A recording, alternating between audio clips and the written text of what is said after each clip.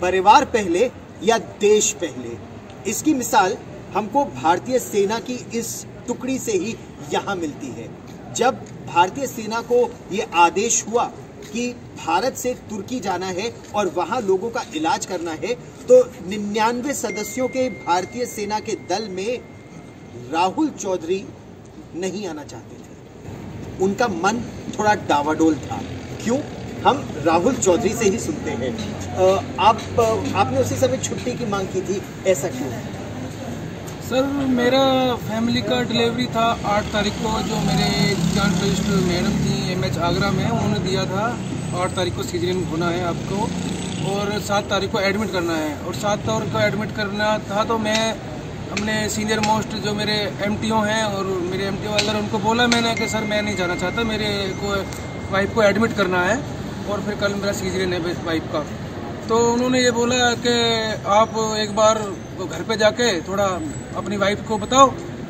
ठीक है, फिर मैंने घर जाके बताया वाइफ को तो वाइफ ने मेरी को, मेरी वाइफ ने यही बोला फ़र्स्ट बार के, कि आप पहले अपने देश की सेवा करो, उसके बाद फैमिली बाद में है। तो फिर मैं तुरंत फिर मेरा बैग पैक किया और अपनी टुकड़ी के साथ सात तारीख को ही मैं अपना रवाना हो गया। आप ये सोचिए कि उस समय एक बात ये हुआ कि चलो, अगर राहुल की जगह नहीं कोई और सिपाही आए ये भी सोचा गया। लेकिन तब तक राहुल का नाम जा चुका था, पासपोर्ट बन चुका था, और ये आदेश हो चुका था कि अब सीधा मार्च करना है और प्लेन में बैठकर यहाँ पर टर्की आना है, अडाना लैंड करना है। हम लोग इस समय स्करंदन में है। तो जैसे ही आप प्लेन में बैठे, उसी समय डिलीवरी के लिए ले जाने की बात भी चल रही थी।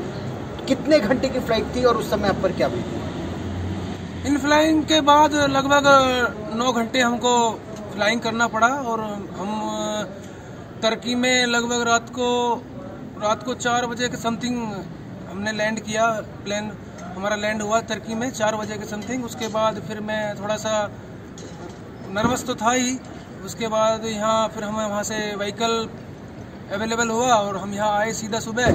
तो एमएच के एक डॉक्टर साहब ऑर्थोपेडिक आए हुए हैं हमारे साथ। जी। तो उन्होंने मेरे को फ़र्स्ट बार मैसेज दिया पूरा बच्चे के साथ कि आपको बेटा हुआ है चौधरी और इतना थ्री पॉइंट सिक्स के जी उसका वेट है। वाह। और सब कुछ वैसे ठीक है। तो जच्चा बच्चा दोनों सुरक्षित?